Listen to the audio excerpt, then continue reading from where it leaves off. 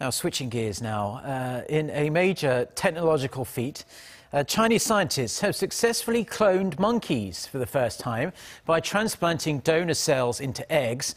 Scientists hope the monkeys can uh, pave the way for medical research for human diseases. Our Park Soyun reports.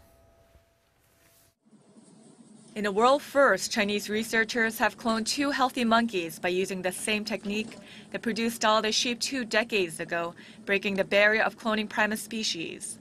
The cloning of primates was long considered to be fundamentally more difficult than cloning other mammals such as sheep and horses. Two monkeys named Zhong Zhong and Huahua were born in November and December of last year at a laboratory in Shanghai after 79 attempts. The Chinese Academy of Sciences said the procedure was technically challenging. Scientists removed DNA containing nucleus from monkey eggs and replaced it with DNA from the monkey fetus.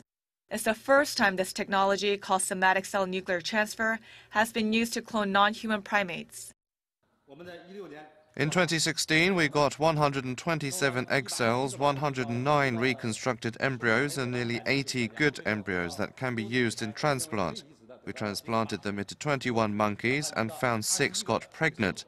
Of that, two without fetal hearts aborted in the process, and another two had a gestational sac only, but we found the fetus and fetal hearts in the last two.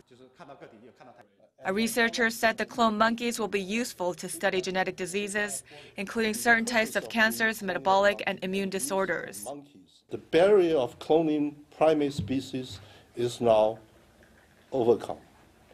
In principle, any primate, including human, can be cloned.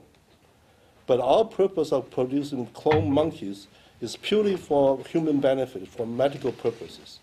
We see no reason of cloning humans. The society, for ethical reasons, will not permit cloning of humans, and this is never within our consideration to extend the technique to humans. The study suggests that human cloning could technically be possible in the near future, raising serious ethical concerns. This watershed discovery will potentially lead to a brave new world of medical research and spark heated debate over cloning another primate species, humans. Park Soyun, Arirang News.